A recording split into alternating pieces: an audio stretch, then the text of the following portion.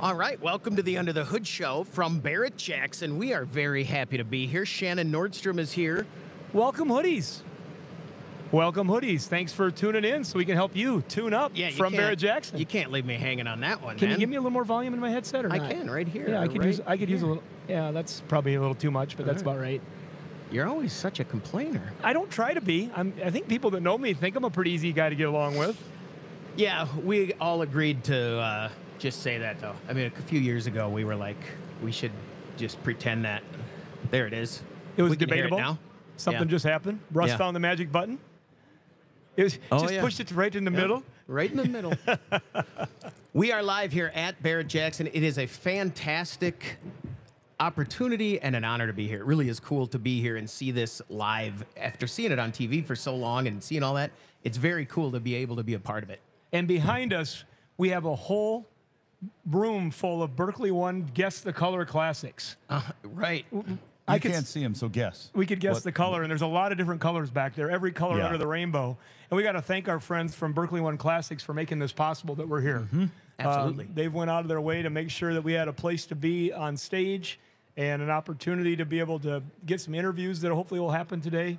Uh, this is a live event, so we're here with the engine running, literally. And so yeah. we're going to be pulling some people It aside to do this. It so just everything went well, and we got everything good. It was great.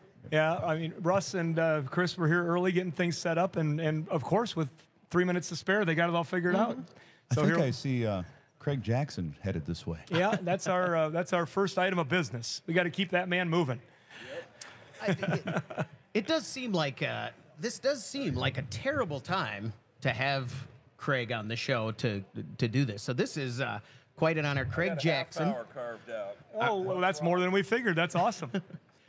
Craig Jackson, thank you very much for joining us. It is an honor to have you on the show, and it has been an amazing couple days already to be here and see what you guys are doing here at Scottsdale. Tell us uh, just quick. This is kind of a, a new situation for Barrett Jackson, right? This is the first one of the of the fall. It is. Well, fall we did coming out of COVID. Our first auction back was here in October, about Okay. the same week, and uh, we chose that because the weather is normally so cool. We left all the sidewalls off all the tents for open air. And uh, that allowed the city and everybody to sign off on coming back to live events. People loved it. and asking them what they would like, what city they'd like to go to. A lot of my customers, so let's go back to Scottsdale. So that's how we ended up here. And uh, we were going to leave all the big tents up. We built all the infrastructure, and uh, we're going to, as we say, Scottsdale's so nice, we decided to do it twice. that is comes from my wife. That is her tagline. She nailed it because that's perfect. and the thing that I've the most amazing part I've uh, I've in addition to the cars is there must be over a thousand people working this event, and to the person at the the people around the auction, the people in the parking lot. Everyone I've run into seems like they are happy to be here, proud to be here, and this is important to them too. Everybody I've run into, it feels like they're they're just a major cog in this machine. They're so great to work with. Oh, th- thank you for that. Uh, that is part of the way that we, you know, we go to different events, and you want your event to be where, from the person that's directing traffic to the people taking tickets to security guards, it's about training, it's about attitude. But our core staff, I got to give the credit to training everybody. We go from a staff of 110 to a staff of 800. So you have to train everybody in the way we want customers feel, but they also have to be educated in the handbook that we hand out to everybody, teaching them how all their jobs work. It's And working. It's and that's why we felt a little rusty because we did not do an auction over the summer. So the first few days we're like, all right, we all got to get back in sync again. So we're used doing it every 90 days, and it's muscle memory. It came back. Muscle car memory. Muscle car memory. So, yeah, I, I know a lot of our listeners. They, of course, many people know Barrett Jackson, but I found out a little more recently, and I was pretty excited about it because I've been a car builder in the past, and currently I'm not building cars, but I'm working on them every day in our shop, repairing them, and Shannon's working with recycling. But you yourself, you're a car collector, and you're a, a racer of cars, but all those cars in the collection, you can work on them hands on. You're actually a, a builder. Well, I that's where I grew up. So I grew up in the shop, and uh, as I say, I was my brother's apprentice, which means I worked cheap and I got all the bad jobs. So I learned the art of steam cleaning, sandblasting, picking and filing, buffing out aluminum Oh, and stainless steel. So not the glamorous jobs, and uh, I I learned from a lot of guys that were in their 70s and 80s how to roll metal, pick and file, lead. So we still have a full shop under my office is our shop. So for me, when I want to take a break, I go down and we work on the cars. I'm constantly building cars for our build series, which is on YouTube. Right now, um, I'm doing a 37 Bugatti, my van that I've owned since 1978, that I put 400,000 miles on and customized. I'm restoring my van um, back to the way it was, but it, it now has a LS engine in it, so it's a little bit perkier than it was We need to talk. and and then I also bought back the first car my parents ever bought here at the auction, and uh, bought that in 17. Tore it apart and realized how why they found it in a junkyard. uh, it needed all new wood in the lower extremities. They had let it over when they restored it in the 60s. All the rusted out areas, so we reformed a lot of uh, metal, took the skins off, made new lower parts of all the skins because the car was from Michigan. Salt got back into everywhere. What was that vehicle, Craig? It's a 1934 Cadillac uh, V12 Opera Coupe, 154 inch wheelbase. And my mother actually drove it from Michigan to Arizona when they moved. So she was uh, quite a car person, five foot four, driving that uh, manual transmission uh, Cadillac cross country. So it meant so much, I wanted to buy it back. So I restored that. We're doing a Dalla, or a Type 57 Bugatti that I actually bought here at the auction last year. Beautiful car. Started driving it, leaked like a sieve. So I decided, all right, let's pull the engine out, reseal it. And one thing leads to another. Next thing I know, I'm powder coating the frame. So it just starts that way. It, and the Cadillac started, it blew a radiator out, and you had to take the whole doghouse off the front of the car to get the radiator out. And I'm looking at it and I'm going, yeah, I'm not putting this back together like this. So we might as well yank the engine. Once we did that, we got the body, and then we're powder coating the frame. So that's always how it ends when you growing up in a shop and you get something. You're like, I'm not going to do it halfway. If we're going to do it, let's just do it. Then I, uh, it's done for life. And then the next car we're building is my Pontiac, which was my first driving car. So my grandmother gave me that car in 1975, and bef- when I was 15 years old. So I hot rodded it through between my freshman and sophomore year in high school. Drove it my sophomore year in high school, and blew it up drag racing it. So then I parked it, and it was intended on putting a new engine in it. Bought a couple of different uh, Pontiac engines, a Ram Air 4400, a Super Duty, and never worked on the car. So now we sent it to the Roadster shop in collaboration with the Roadster shop. They built a custom uh, chassis for it. I said I want it to look like my high school car. Put an IRS under the rear of it, put an LT4 in the front of it with a 10 speed automatic. And I said I want it all to fit under the flat hood. And when I'm done, I want to take a picture and put it next to the picture when I drove it in high school. It looks the same, but it'll have a whole lot of new technology in it.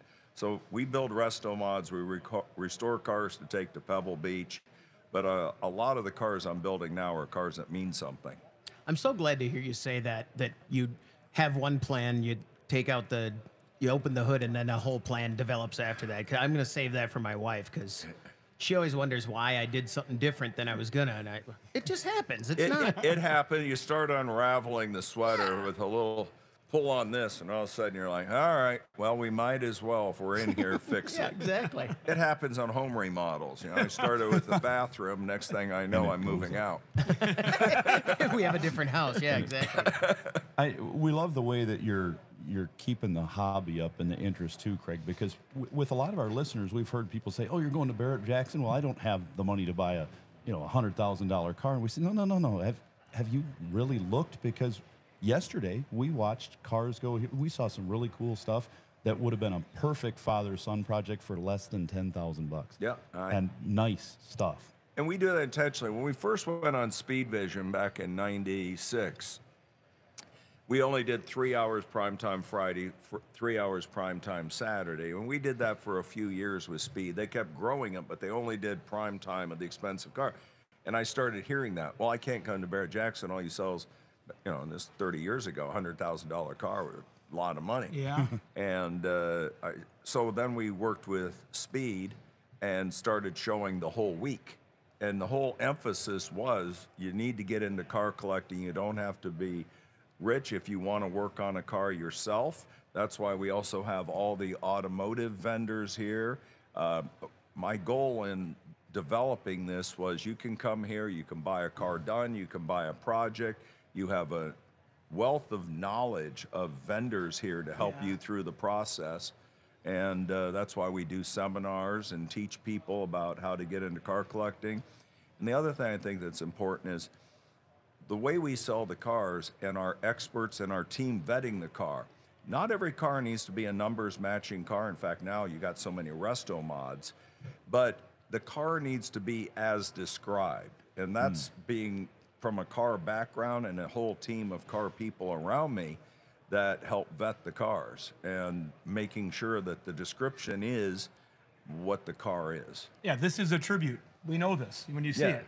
It's And- it's a tribute, it- whatever's been done. But now we also have two guys that help me, uh, that have done work for me. Almost all the experts have also helped me in my personal car collection, so I know their ethics and what they look for, and have helped me restore cars, especially Billups, who helped me restore Little Red, Green Hornet, some iconic Shelbys that are in my collection but they their ethics and their their knowledge to look at cars. And I think a lot of guys that build, let's call it, unofficial clones, um, don't bring them here because we know what we're looking at. You'll tell the truth on it and show 'em- Yeah, we have a tent in the back. We have two lifts, and if we suspect a car uh, has got something done to it that's not described, we take it out there, put it on the lift, and, That's I did not know that. and dig into it, and then we come back and tell you, yeah, it's a rebody. updated description. I've saw, I've seen that. Yeah. uh, time for the updated description. And a lot of times the guy that bought the car doesn't know it. You know, we have to be the bearer of bad news. Right.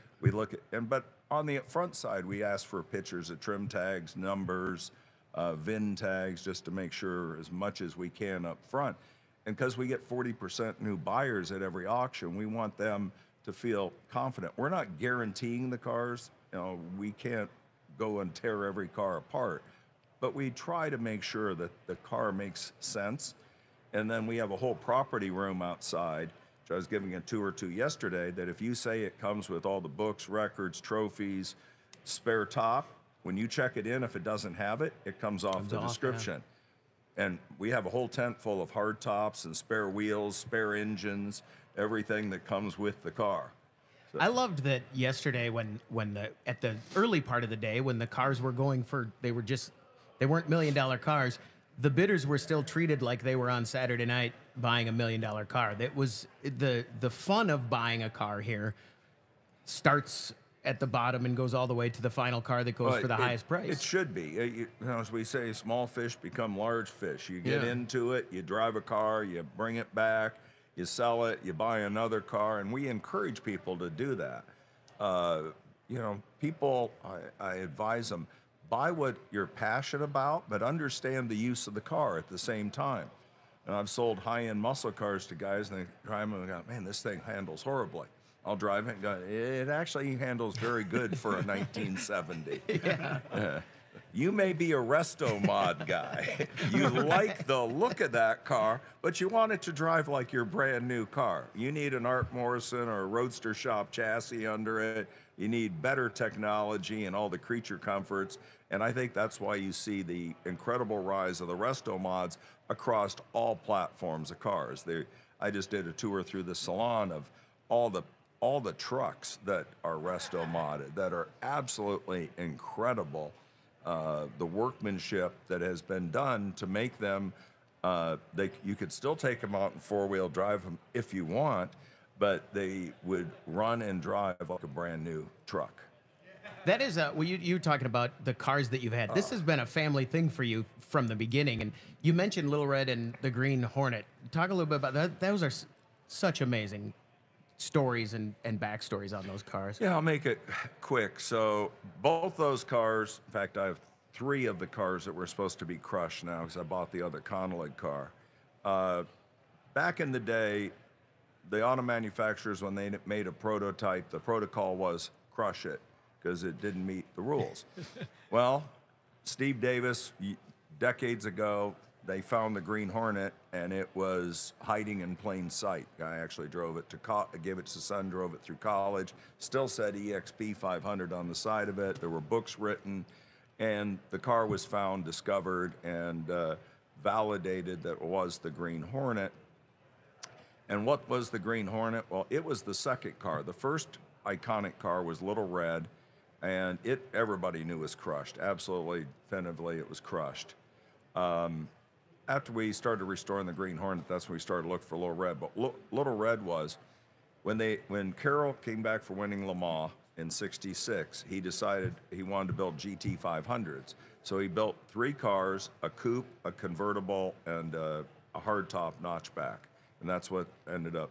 And they were all 428 uh, Cobra jets with air conditioning. So they didn't make 428 Cobra jets with air conditioning. So the cars started off very unique. And then Little Red he used as a development car throughout its life. And he had first thing he did is put two blowers on it because he and he some of the myths were wrong that he painted it Ferrari red. Once we found the car, we knew that myth was wrong. But he made it to go out and eat Ferraris on the street. That was his goal after just winning Le Mans. Uh, they didn't end up building them, but then that car, we didn't know it, kept getting updated through its history. And as all the Shelby guys worked together to share information, so we hunted that car down uh, when we were doing the research for the Green Hornet, finding the VIN number for that car, ran it through the national database, got a hit, and uh, found the guy on Facebook. And when Billups called him, he, goes, It's Little Red, isn't it? You think it's Little Red? He had actually called SAC and they told him it was crushed. But he called SAC, told him he had a 68 Shelby because it was a 68 at the end of life. So they never made a 68 Shelby coupe. Green Hornet evolved from a Little Red, then was sh- shipped to Dearborn to uh, for uh, uh, the Deuce to see the car, and they decided to build the California Special, and it is the father of the California Special. It had later life. Well, the, and I'll make this story as short as I can. It was pretty interesting. They decided then the next year they wanted to build a nationwide version of the California Special, so they built a prototype in Dearborn, and that car, when they decided not to do it, they gave it to Shelby Automotive because Shelby America in California had been shut down, moved to Michigan. And then that car they gave to Shelby went to Ford Advanced Vehicles, who was doing all the work on the GT40s, put an independent rear suspension in it, Conelec fuel injection, which was computerized fuel injection. So a computer running a car in 1968 with a potentiometer, you can change the richness, Wow. the idle on it uh, way ahead of its time, had the same transmission they had developed for Little Red put into it. And then Shelby Automotive painted it. Sonny Fee, who came to Michigan, who was their painter, painted it candy apple green. And that's the way the car was found. They actually sold it off a Ford lot. They took the independent rear suspension and also had four wheel disc brakes. So it had a lot of innovation of its time. When we restored the car, we went to all the people that had either built the car or their sons and got them to help us restore the car. Oh, that's that's fun. That's and cool. I did two series on it for History Channel, uh, The Hunt for Little Red and uh, The Green Hornet, and they're on my YouTube and Barrett Jackson's YouTube channel. Uh, the first cut was an hour and a half on each one because there was so much stuff to go into. But having the original blueprints, hunting down the original parts for the IRS, uh, and actually getting a lot of the original parts back on the car was absolutely amazing. It's still fun, isn't it? Even I mean, big picture, we've got this whole thing, but each car that comes across and each car that it's still fun, and to see that the the way you're telling this story, someone else is telling that story right now about a car they bought yesterday. Mm. That's the coolest part about this whole thing, I think. It is. You know what I loved about restoring these two cars was getting the kids. Uh, we actually found the gentleman through social media. We did crowdsourcing when I unveiled Little Red, and we got on our Facebook and we had a uh, ShelbyCoops.com uh, website. And this one gentleman went on the website and said, My dad said the car was crushed. All right. Then he finally showed the pictures to his dad, and he goes, That's Little Red. There was a lot of things that were very unique about it. And uh, make a long story short, he actually moved to Arizona. So I reunited him with the car, and he gave me pictures that nobody had ever seen of the car back in the day. And that's how we decided where to build it and how to build it through interviewing him and having the photographs of the car back in the day with both blowers on it saying EXP 500. Interviewing all the living Shelby guys then became a, a quest of mine and what was it like in the shop? And then when we sold uh, a couple years ago when we came out of covid uh, the super snake cobra for the first time same thing happened. Guy called said you know i built that car and his story and the guy that built little red if you put them both like a detective in two separate rooms and interviewed them their stories were identical Carroll said put it in the corner don't tell the four guys what you're doing and That's perfect. go to parts, get the parts. If they ask any questions, don't answer any questions. Tell them you're working on a project for me. And hearing that story from both, and these were both Carroll's personal cars, the little red with the two blowers and the super snake with little with blowers on it. I love the fact that that store when someone's selling a car too, you got I, I've noticed that the you guys, the staff here, you treat each car that if I'm selling a car, you give it that important. It's if it's important to me and I'm selling that car, you guys realize that and help me. Well, as we say, these are people's babies. Yeah. And you may have a car that's been in the family for 50 years and it's emotional to sell it. You may have built the car yourself. And that's why we treat the cars the way we want our cars treated. Yeah, it is. It's so cool to see, and when they roll across, it is just when to see people excited to bid, and when they get it, it's it's so much fun to be in that room and see that happen, or watch it on TV. It's not quite the same. It is. No, a, and it is people a- come here all the time and say, I had no idea, a, especially January Scottsdale, but we have all the big tents up, so Mm-hmm. it's pretty much the same. That it's much more than just an auction, but the auction action inside, especially when we hit Saturday tomorrow, will be just like Scottsdale. The quality of cars, uh, selling Sammy Hagar's LaFerrari tomorrow with him here up on the auction block and Canelo Alvarez's 2018 Bugatti Chiron. Today we're selling William Shatner's Jaguar. So just left Captain Kirk a few minutes ago, and he'll be up on the block. Uh, celebrities, uh, their cars, but the common part is they love cars. Right. Both Canelo and Sammy spec their cars from brand new. What's uh, what else is going up tomorrow? There's got to be a few that are on your radar, radar. Not the big celebrity, maybe maybe somewhere not towards the end of the night, but what's going up tomorrow that you you've noticed and we're like, mm, I like the white Viper in there. I kicked myself for not ordering one in 17 because I ordered a my first new car I still have was a two was a 1997 Viper Roadster, and I still have it. And uh, when they ended, uh, you know, after the orders were done, I was like, yeah, I probably should have ordered one. And I was like, yeah, do I need another Viper? But when I walked by that, I was like, yeah, that's probably how I would expect it. Have you ever? Is there anything that has rolled across that you've just couldn't couldn't let go and you you bought it? There's been a couple. My rule is I go off the auction block, I go down, I stand there and buy it. Uh, I've bought a few cars on the auction block. I bought uh, charity car, the first VIN 1 GT500. That was sort of spontaneous and when Edsel Ford was It ti- happens. it happens. and it all went to a good cause. Uh, but they built me a very cool car. So, and the reason I bought that VIN 1, one, uh, juvenile diabetes, been a big, uh, we've been a big supporter. I think we've raised 6.8 or 7 million dollars for them. Good job. But also, when Edsel told the story, I don't know, of all the new things in it, I'm standing there thinking, well, it's got supercharger like Little Red, it's got computerized fuel injection like Hornet, it's got IRS under it, All those things came together in the 2020 that were pioneered back with Little Red and the Green Hornet. So after I bid on it, I was showing the Green Hornet there, and I leaned over to Edsel and we're doing the photos. I go, I want to paint it like that car. And the plant manager just puts his head down. Edsel says, whatever you want. And I had, so I got to go back to the factory, watch him build it, but he told me what a pain it was for them to do it. And I had no idea when I made the request. They had to take the body, put it together, send it to Penske to paint it, make it just like the Green Hornet, bring it back, disassemble it, put it in the racks. Because my car actually wasn't just VIN 1. A lot of times they'll make their pre productions, then they'll start making some cars where VIN 1. This was the first car down the line, and they, it had to be right. And so I, I watched them build it at hmm. Flat Rock. We brought the Green Hornet back there, put it in the lobby. After they fired it up, we drove it around and put it in the lobby and had both cars sitting there looking 50 years apart.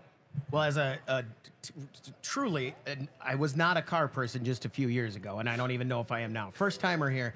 It's such a fun event, whether you're buying cars or into them or not. It is. This is well done. Now, the, all the vendors, it's the atmosphere here. It is an automotive mm-hmm. lifestyle event. It is not just an auction.